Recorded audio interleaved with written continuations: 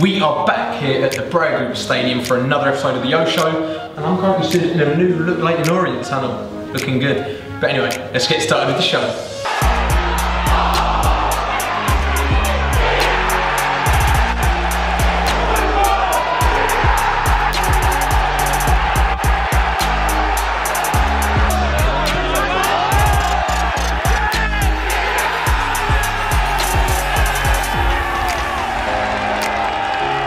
We have got another jam-packed episode in store for you today. We're going to be chatting to the cast of the Greater Game and seeing what they've been up to, as well as looking towards Saturday's game against Havant and Waterlooville. I can't wait. Here we go. I am sat here now in the Leyton Orient dugout, and I'm going to be honest with you, they're not looking too shiny, Pavitt. I think need to come back and give them another once over. Now, I'm sat in Edinburgh's chair. Let's hear what he has to say about Saturday's game against Havant and Waterlooville. Justin, how's the week been for you and the boys so far? Well, we, I think obviously uh, Monday we came in regrouped. We spoke about the the defeat at Maidstone uh, on Saturday, um, but quickly over that and, and, looking forward to, to getting back to league action on, on Saturday. And as you said, we, we get back to league action on Saturday. It's the visit of Havant and Waterlooville, who have been struggling for form, but it, it's about approaching the game in the, in the right manner, isn't it?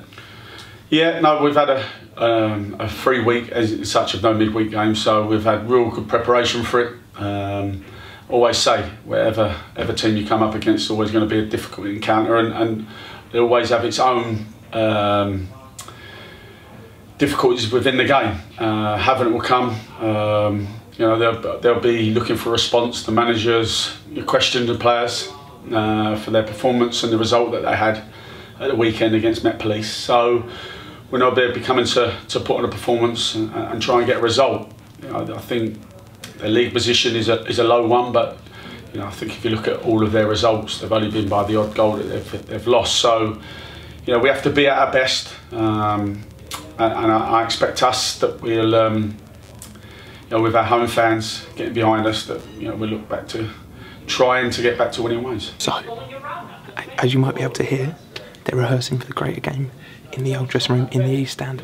We're going to go and have a chat with them and hear about how they've been getting on in rehearsal so far. Right, so here I am in the old Leyton Orient dressing room with Stephen Bush and Mike Head. Stephen. Hi, nice to meet you. Nice to meet you. Nice to meet you, mate. Nice to meet you.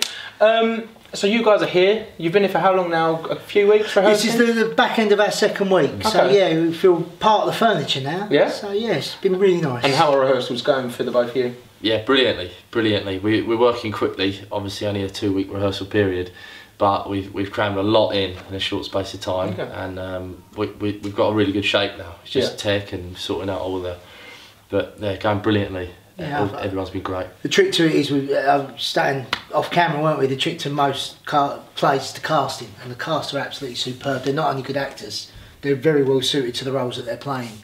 So they brought such an energy to it, and we've got like a multi-award winning stage director. So he's pieced everything together. So that it's been a rush, everything's fallen into place. Everyone's got a real good buzz about it. So yeah, everything's been really positive. So I'm now here with James Phelps and Scott Kyle. James, thank you for joining us. Thank you very much. Um, so you guys are in the Great Game. It's opening next Tuesday. Tell us who you guys playing. Uh, yeah, so I'm playing uh, Richard McFadden, okay. uh, which I'm really, really excited about. Yeah. And I'm playing George Scott. Yeah. Yeah. And, and obviously Richard McFadden's a pretty uh, meaty character. We, yeah. we had a chat with um, Stephen about the letter that got sent home from. Uh, do you know what I'm talking about? Yeah, yeah. Nice. Tell, tell us about that. Must be. Yeah. It must be hard to play. It is. To be honest, it's one of the first times I've played a real person um, Okay. of, of significance. Sorry, the reasons aren't real. Um, on. based on.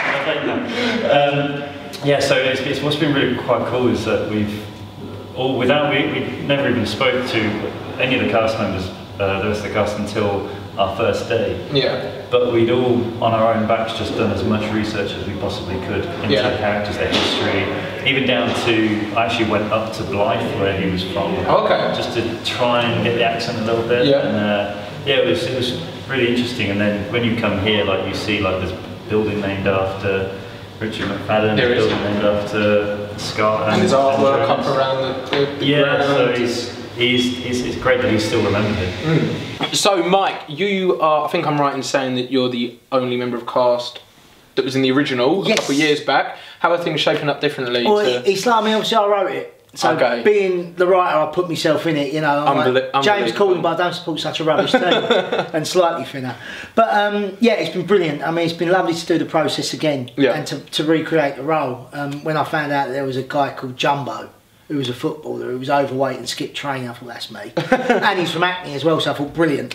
Um, but to see it again with a new, completely new cast, a completely different director, and, and have a lot of fresh look on it, it's sort of like um, I've fallen back in love with the play, back in love with the characters for a whole different reason. So although it's the same play um, and it's the same story, it's told in such a different way, such a different perspective that it's completely fresh.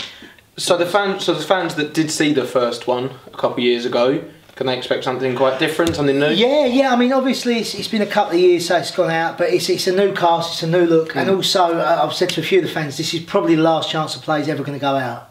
So you know, I, I spoke to a couple of fans. I'll see it before. I'll see it again. You won't see it again. Yeah. This is either come now, or you know, it is what it is.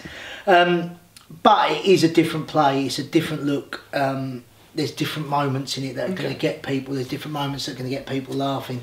So, um, you know, my honest opinion is, if you're an Orient fan, this is this is your history. It's an amazing piece of history, and it's something that you you know really let's let's send it out with a bang. And, and your character, can you? Yeah, I'm me- playing George Scott. Um, So obviously George played for the O's and uh, he was one of the 41 that volunteered to go and fight uh, Yeah. in the First World War.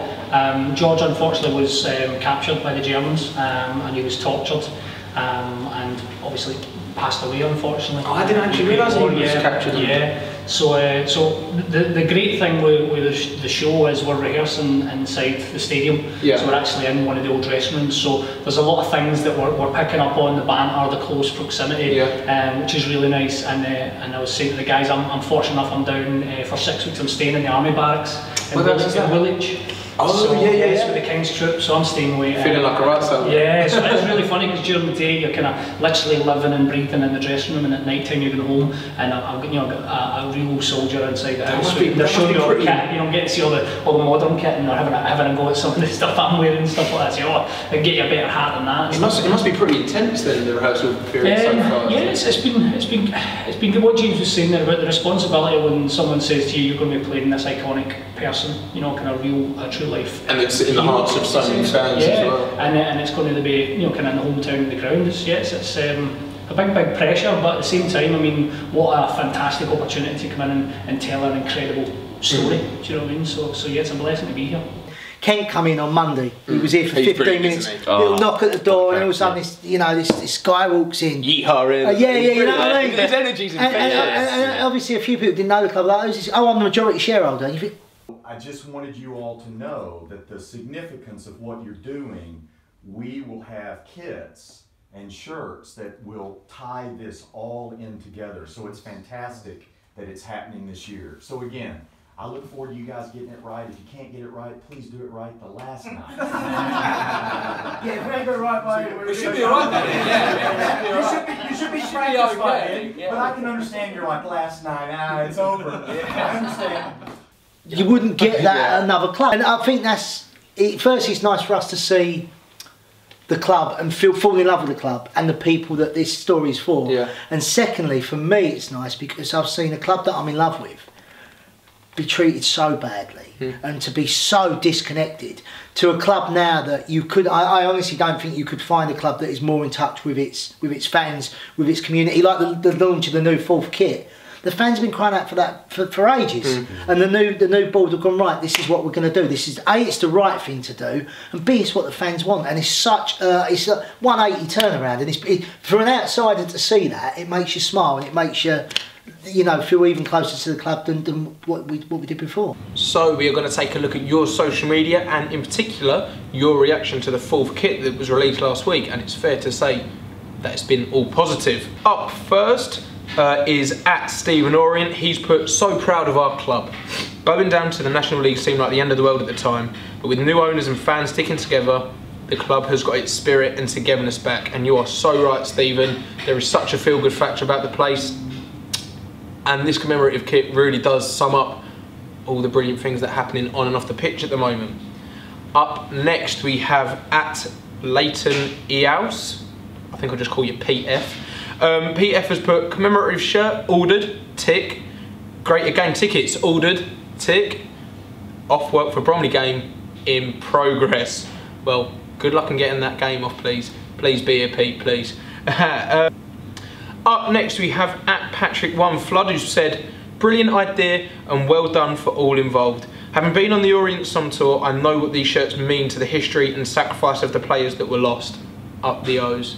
And I think Kent summarised it beautifully in his interview after this shirt was released.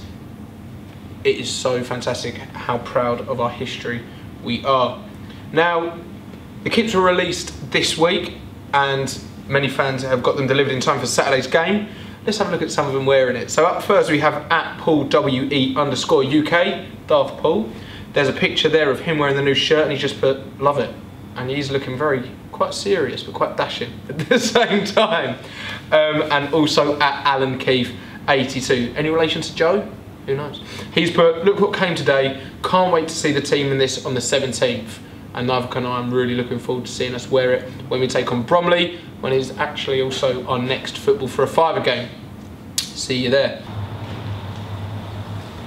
Is it for another episode of The O Show. Thank you very much for joining me. Also, a massive thank you to the cast of The Greater Game, which is opening on Tuesday, so make sure you get your tickets if you don't have them already. Now, on to Saturday when we take on Havant and Waterlooville. Make sure you get your tickets for that as well. I'll see you there. Come on, you O's.